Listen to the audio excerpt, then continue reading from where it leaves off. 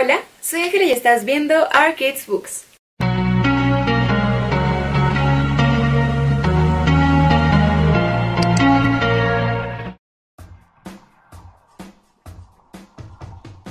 Hola mi gente hermosa del canal, mis lectores y no lectores, mis arcadianos, bienvenidos sean a un nuevo Bienvenidos sean a un nuevo video y este video es muy especial porque aquí damos comienzo a esta nueva temporada pues ya le dimos un pequeño abrebocas con el tráiler del canal. Si no lo han visto les dejaré el link abajo en la cajita de descripción. Y pues en esta oportunidad pese a las adversidades como les comentaba en Instagram que se me borró mi bendito video que ya lo tenía totalmente hecho pero tranquilos que no cunda el pánico porque no sé si a ustedes les pase pero yo siento a veces que enero es como un ensayo.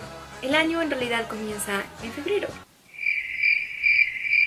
Estamos en esa temporada de comienzo de año, de comienzo de clases, que vuelven al colegio, que vuelven a la universidad, que vuelven al trabajo. Para mí este es un momento perfecto para nuevos comienzos y qué mejor forma de comenzar que recomendándoles estos cinco libros adictivos con los que comenzarán a sentir ese amor que yo siento por la literatura. Y sin ser más por ahora, pues comenzamos.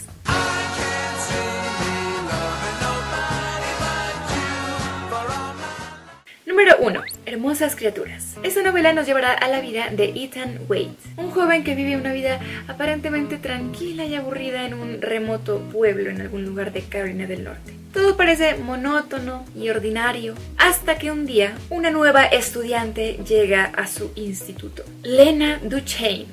Duquesne Duchane, bueno, ¿cómo se pronuncia? Y entonces, a medida que Ethan comienza a acercarse más y más a esta extrañamente cautivadora chica, se comenzará a revelar ante sus ojos un mundo que él hasta entonces había ignorado y descubre entonces que en ese aparentemente aburrido pueblo están pasando muchas cosas.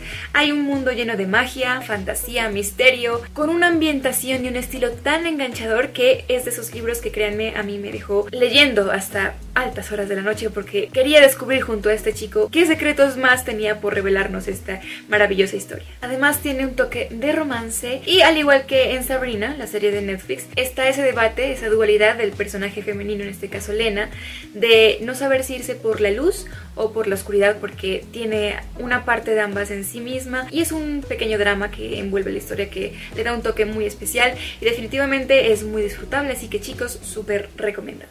En cuarto lugar tenemos a Ámalo u Odialo y es la chica del tren. Allá está el libro.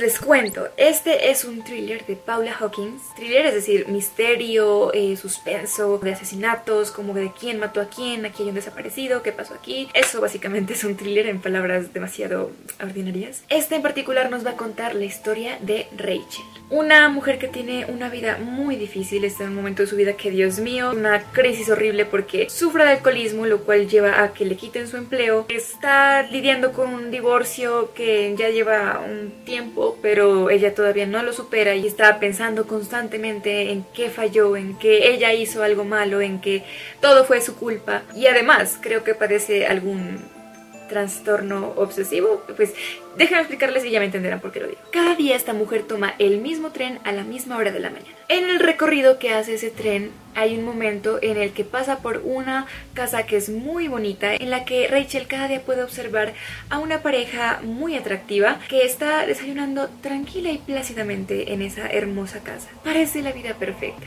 Y creo que por esa misma razón Rachel comienza a fantasear con que conoce a esa pareja y de hecho les pone nombres. Jason y Jess. ¿Ya entienden por dónde va la obsesividad? De todas formas es medianamente comprensible teniendo en cuenta que en ese momento su vida estaba vuelta... Pero, aquí viene el pero, un día Jess, la chica hermosa de ensueño que siempre desayunaba con su hermoso galán en esa terraza, no vuelve a aparecer. Entonces, lentamente Rachel se verá envuelta en un misterio muy trepidante en el que nadie es lo que aparenta. Drama, giros argumentales muy locos, definitivamente es atrapante. El siguiente libro de esta lista es Ready Player One. Hayas visto o no hayas visto la película, eso no interesa. El libro de Ernest Klein es fantástico por razones muy distintas al film. Ambientado en un lejano 2044, Ready Player One nos llevará a la vida de Wade Watts, joven como tú o como yo que prefiere estar conectado en un juego de realidad virtual que vivir en el mundo real. Ya saben, lo normal, como cualquier otro adolescente de 2044. Wade se verá envuelto en la aventura de su vida cuando resuelve uno de los acertijos que llevará al jugador que logre resolverlo a ganar una fortuna incalculable lo cual incluye ser como un dios en ese mundo de realidad virtual en el que tú puedes hacer lo que quieras, llevar en ese, en ese juego, por supuesto, la vida que tú desees. Claro que para ello Wade deberá enfrentarse al mundo real, donde conocerá la amistad, el amor y también descubrirá que los verdaderos enemigos no son las empresas proveedoras de Wi-Fi. Esta mierda no sirve, la voy a tirar para el piso, marica, no sirve. Cantebe no sirve. Tomen su métanse por el sino que hay cosas mucho, mucho más turbias y peligrosas cosiéndose detrás de este maravilloso juego de realidad virtual llamado Oasis. Pues chicos, créanme, este libro, incluso si ustedes no están acostumbrados a leer, los va a enganchar mucho. El siguiente libro que les recomendaré en este top es Las luces de septiembre del maravilloso Carlos Ruiz Zafón. Esta hermosa historia nos contará los acontecimientos que suceden en un lugar llamado Bahía Azul, lugar en el que hay una hermosa, enorme y misteriosa mansión en medio de un bosque en la que vive un viejo fabricante de juguetes, rodeado de sus fascinantes pero a veces macabras creaciones. Son ese tipo de juguetes que a veces tienen proporciones casi humanas y son tan bien creados que de hecho parece que te estuvieran viendo o que de repente van a comenzar a moverse o a hablarte y es realmente escalofriante a veces. Nuestro protagonista en esta historia será Ismael, quien llega al pueblito con ganas de pasar un verano muy tranquilo junto a su familia. Pero descubrirá que tras esas luces que a veces encienden misteriosamente en un lejano faro, el dueño de esa increíble mansión llena de seres mecánicos y la criatura que reside en ese bosque que rodea esta hermosa casona, se esconde un enigma que Ismael deberá resolver para salvar a su familia y para salvar su propia vida. Una novela cortita, sustanciosa, se las puedo mostrar, súper cortita, miren, letra grande, o sea, esto se lee en unos tres y es muy disfrutable. Vamos con la siguiente recomendación. El último libro que les recomendaré el día de hoy se trata de Drácula. Así es chicos, Drácula. O sea, todos piensan, no sé por qué, tienen ese pensamiento erróneo de que Drácula es una cosa anticuada, aburrida, que no les va a tramar el libro. Piensan en todos los libros, hasta en 50 sombras de Grey para comenzar a leer. No, por favor. Pero clásicos como Drácula los excluyen así.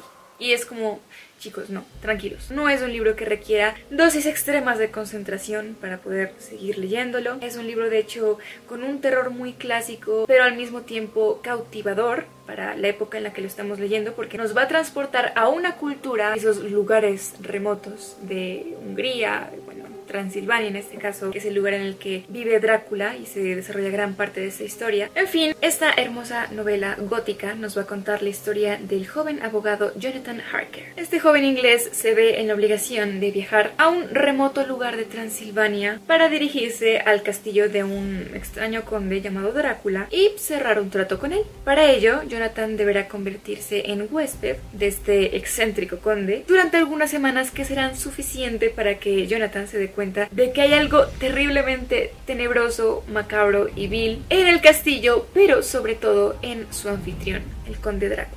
Este libro también es como de misterio, es estilo epistolar, es decir, es un intercambio constante de cartas con lo que nos vamos a enterar de todo lo que le está ocurriendo a este joven abogado, porque él le hace esas cartas a Mina, su prometida, y a Mina también le pasan unas cosas que están conectadas directamente con la trama principal de Drácula, y en un momento todo esto se conecta, así que esa es una obra maestra.